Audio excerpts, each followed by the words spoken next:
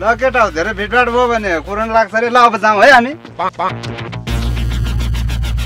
हामी जस्तो लोकल झोल खाने मान्छेलाई के गो कोरोना कोरोना हामीलाई कोरोनासम्म केही लाग्दैन। हामी त मुलुकको चिसो पानी खाएको लोकल असली जन्मको मान्छे हौ। हामीलाई कोरोनासम्म केही लाग्दैन टेन्सन लिनु पर्दैन है।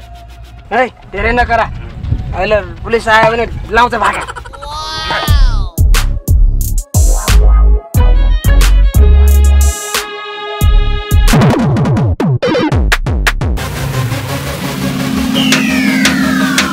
हेलो साथीहरू यसरी किन बस्नु भएको छ? लकडाउनको समयमा कोरोना भाइरस आउनु सक्छ मन्त्रीज्यू आउनु भएको छ स्वास्थ्य मन्त्रीज्यू?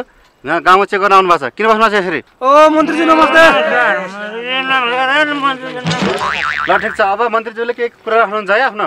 बेसी कुरो के छ भने चाहिँ यहाँ कति बिमारी त्यो स्वास्थ्य चौकीमाथि कति के बिमारी भयो कति ठिक भयो कति के भयो त्यो चेक गर्न लागि म आयो तपाईँको त्यो जनसमाचार के के छ के के मन्त्रीज्यू तपाईँले अहिले यो हाम्रो देश संसार नै कोरोना भाइरसले रोइरहेको बेला तपाईँले स्वास्थ्य सामग्रीमा घुस घुसखोरी कमिसन तस्करी गर्नुभयो। तपाईँ तपाईँ जस्तो मन्त्री कसरी विश्वास गर्न सक्छौँ हामी? यस्तो कात्रोमा घुस खाने नेता हुन चाहिन्न यो नेपालमा शोषण सामान त नेता छन् भन्ने त हामीलाई थाहा थियो तर यस्तो कात्रोमा समेत घुस खाने यस्ता अपराधी पापी नेता रहेछन् भन्ने आज थाहा भयो।